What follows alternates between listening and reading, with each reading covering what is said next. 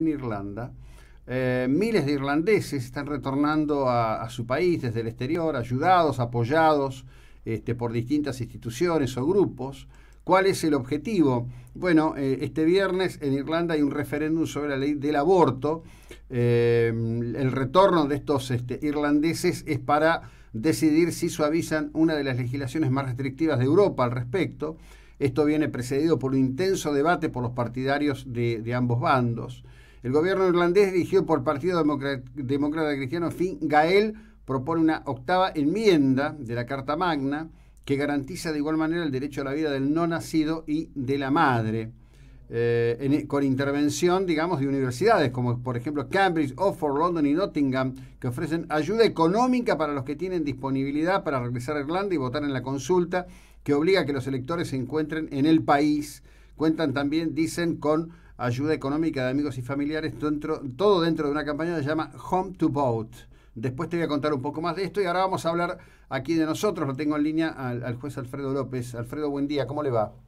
Buen día, José Luis, ¿cómo está usted? Bien, bien. Bueno, la verdad que fue a todas luces absolutamente eh, impactante este, la movilización de aquellos que eh, digamos, como en su caso, como un referente Mar del Plata, eh, se plantean y se plantan frente a la posibilidad de que haya este, un, aborto este, asistido, eh, digamos, por una acción de ley y enmarcándolo dentro de una acción del propio Estado en referencia al aborto, ¿no?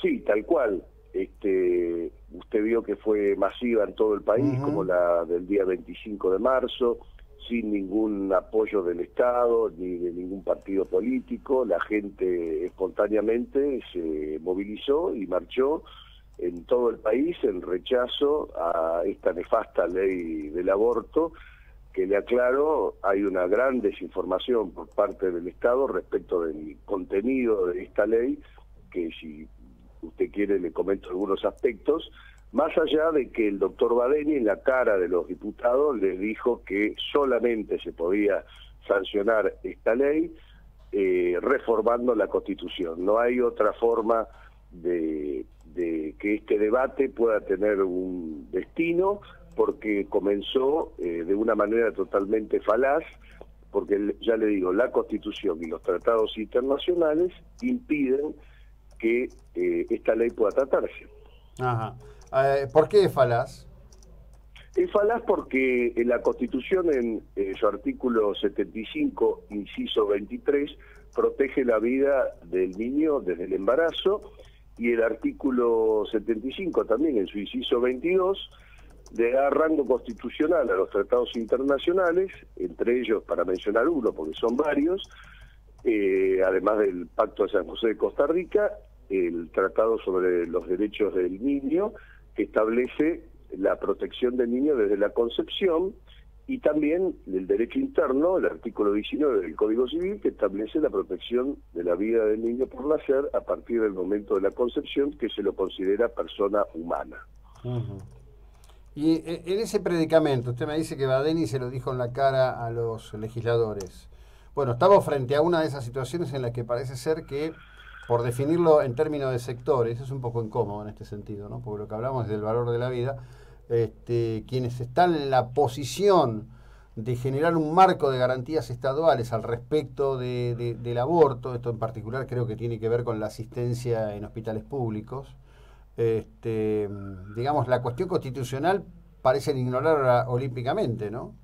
Eh, absolutamente, por eso digo que eh, los legisladores también se quedaron callados cuando además el doctor Abel Albino les dijo en la cara que tengan el coraje de reconocer que no tienen razón, mm. porque además los expositores eh, que fundaron la posición en defensa del niño por nacer fueron todos muy claros y contundentes y todos de un gran nivel, mientras que mm. los expositores proabortistas fueron de la farándula, de manera tal de que además del financiamiento internacional que tienen las posiciones, que no voy a abundar porque son muchas las multinacionales, entre ellas las que financia Soros, que toman este, el dinero los sectores de izquierda que dicen combatir a esas multinacionales, este, eh, evidentemente hay un plan a nivel global para instaurar como política de control demográfico y someter a las soberanías nacionales a este nuevo orden mundial y a este pensamiento único que pretende avasallar los derechos fundamentales como es el derecho a la vida, sin el cual no se puede ejercer ningún otro derecho. Ahora, la, cuestión es esta, Soros es mencionado detrás del financiamiento de estas campañas, es mencionado detrás del financiamiento de las campañas eh, para la liberación del consumo de drogas, en particular del tema de la marihuana. Fíjese usted que en esta semana se, estima, se entiende que el alcalde Bill de Blasio, alcalde de la ciudad de Nueva York, este, estaría firmando una resolución que le indica a la policía de la ciudad de Nueva York que no puede intervenir, no puede actuar cuando advierta en la vía pública a una persona fumando un porro. Acá, bueno, acá en la Argentina, en Mar del Plata en particular, no hace falta que esté Bill de Blasio. Esto ocurre de suyo, contrario al esquema legal nuestro este, todos los días. Em, ¿Tanto poder tiene, tiene, tiene Soros? ¿Es, para darle semejante terrible predicamento ante lo que parecería ser la indiferencia este, de, los, eh, de los agentes este, del Estado? Mire, no, no es solamente Soros. Yo le menciono Soros porque es eh, un personaje conocido. Usted sabe a nivel internacional la influencia que tiene y el poder económico que maneja. Pero más allá de Soros, yo no tengo acá eh, en, este momento este, a disposición, pero podría leérsela o mandársela la información de todas las organizaciones internacionales eh, que propician el aborto. Y no solo aquellas que son privadas y que tienen un gran poder eh, económico, sino también organizaciones multinacionales como las Naciones Unidas, la UNESCO, etcétera, que propician de distintas formas la difusión del aborto como políticas a los estados a punto tal que en el caso argentino el ministro de salud eh, Rubinstein que es médico y se olvidó del juramento hipocrático que implica defender la vida eh, fue al Banco Mundial y el Banco Mundial exigió en una reunión en Washington, que uno dirá, ¿para qué va a ir un ministro de salud al, Banco Mundial? Bueno, porque el Banco Mundial da créditos blandos a aquellos países que adoptan el aborto como política demográfica. Mm. Ahora, qué, qué loco todo esto, ¿no? Porque, por ejemplo, estaba mirando el otro día un informe estadístico del tema de China. China adoptó durante 30 años la política del hijo único, lo que ha llevado, entre otras cuestiones, a que se estime que hay unos 33 millones de chinos indocumentados aún por familias que tuvieron más de un hijo. Llevó a la locura de la búsqueda del descendiente varón, por lo que se considera que se ha hecho un infanticidio de, proporciones este, inmensas, abortando, abortando niñas. Lo que estoy diciendo es espantoso, me revuelve el estómago, pero es lo que ha ocurrido. Exactamente. Y ahora China se encuentra frente a un pánico demográfico porque estima que el cambio cultural que provocó en esos 30 años de presión por el hijo único podría llevar a una reducción del marco de su población este, dramático en los próximos 40 años, ¿no? Este, sí, sí, exactamente. Este, lo que usted dice es eh, correcto. Y eh, es más, yo le agrego que ahora han admitido dos hijos en las zonas urbanas y eh, en las zonas rurales hasta tres. Pero eh, esta política que usted alude se mantuvo durante muchos años a punto tal que en muchos casos este, se dejaban, eh, también es duro decirlo, para los casos en que no incurrían en aborto, en cajas, este, incluso con la placenta y el cordón umbilical, en, en distintas este, hospitales o sanatorios o centros de salud de China para que este, se encargara el Estado de, de, esa persona por nacer, ¿no? ya nacida, mejor dicho. Eh, ¿Esto eh, podría tener en, el, trasfondo de la cuestión una, una visión maltusiana del desarrollo de la humanidad? Seguramente, seguramente porque eh, le vuelvo a repetir que no son solo estas multinacionales eh, eh, como las que se encuentra Soros o, la Fundación Ford, que dicho sea de paso, por ejemplo, las, todas estas organizaciones de izquierda que fomentan el aborto en la Argentina están financiadas por estas multinacionales. Mm. eh, a las cuales aluden combatir como parte del imperialismo, ¿no es cierto? Pero lo hacen también, como dije antes, la UNESCO, la Organización Mundial de la Salud, las Naciones Unidas. Es decir, esto es un, una cuestión global que lamentablemente en la Argentina el señor presidente, que se había comprometido públicamente a defender la vida, lo plantea como un debate que vuelvo a repetir a lo que dijimos al comienzo de, la entrevista, es totalmente falso porque ya la Constitución ha zanjado el tema y solo se podría tratar si se cambia la Constitución. claro.